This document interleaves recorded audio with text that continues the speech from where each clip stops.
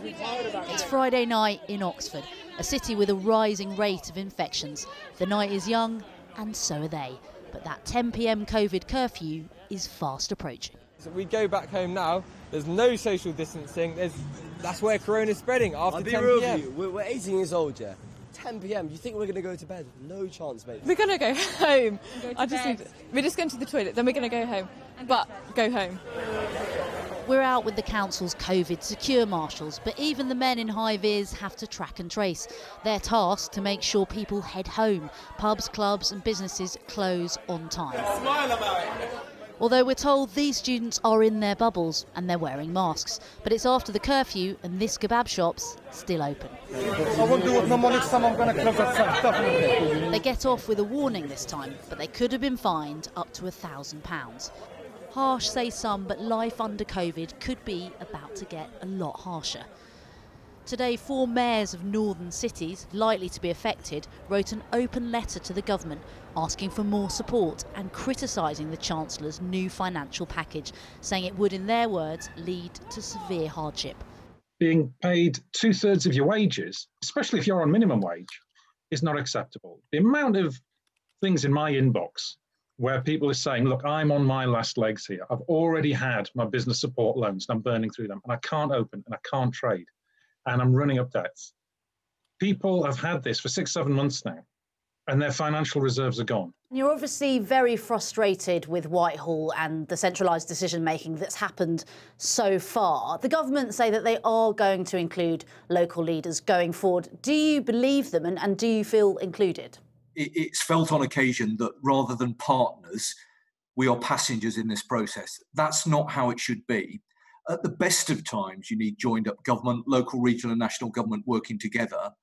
But in a crisis, it's even more important that people pull together. We get them to Back on the streets of Oxford, COVID marshals are busy making sure people are following the rules. Today, though, came a stinging attack on those government measures from the British Medical Association, saying the messaging had been inconsistent. But the Department of Health and Social Care said at every stage they had followed scientific advice. Their critics insist the rules aren't working, and politicians risk losing the public's faith. Well, I'm joined now by the Metro Mayor of the Liverpool City region, Steve Rotheram, who's been in talks with Downing Street this afternoon. Well, let's start with those talks. Are you clear now from them what restrictions are going to be placed on Liverpool next week? No, we're not clear because nothing's finalised. And as always with this government, the devil's in the detail. But we do know that the orders will be laid before Parliament on Monday. It's likely that there'll be a very curtailed uh, period for that debate. By Wednesday, we're told that they will enact the uh, three tier system, and it's likely at that stage that Liverpool will be put into the very highest Liverpool City region, of course. And what does that mean? That means pubs and restaurants closing, non essential travel curtailed? Yeah, it means all of those things potentially, but of course there are um, some things that are absolute. So uh, they're saying if you're in the top tier, then pubs do have to close, but there's some discretion around restaurants. But these are the things that over the next few days we're going to have to try and sort out with national government. But have you told Number 10 that you support, in principle, those restrictions, those closures? Now, what we've clearly asked for is the scientific evidence that supports the contention by national government that these are the only measures that will work in our area.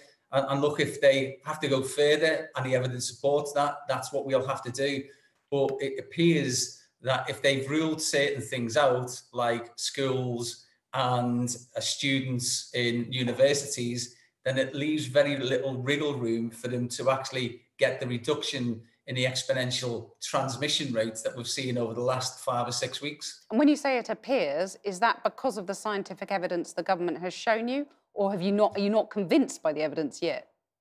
Well, we haven't seen it in all honesty, and that, that's the big thing. We've all asked the leaders across the six districts in the Liverpool City region, and our MPs have asked to see the supporting scientific evidence so that we can base our support or otherwise on something that's a little bit more solid than the government saying, well, please trust us because we think this is the right thing for your area. Okay, so if you accept, having seen the evidence, that the lockdowns have to happen, you're then saying to the government, are you, that more financial help is needed.